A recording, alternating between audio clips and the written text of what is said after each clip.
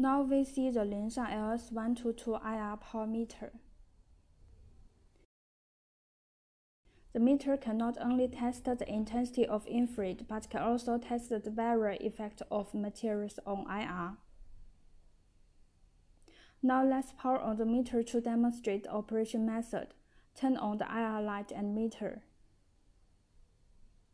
The meter measured the intensity of IR light after turning on the light. The intensity of the light displayed on the meter before the material was placed was 5592. Now let's test a piece of clear glass. Press the zero button on the meter before placing the test sample. Set the value to a rejection rate of 0%. Keep the position of the meter and the lamp unchanged, and uh, put the sample in the middle.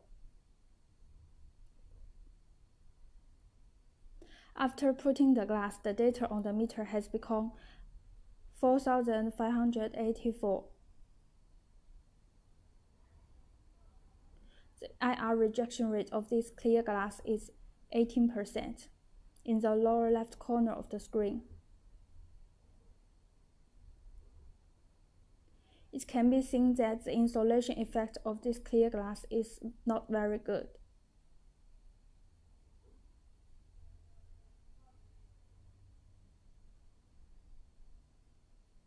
Next, let's test a piece of stick film glass.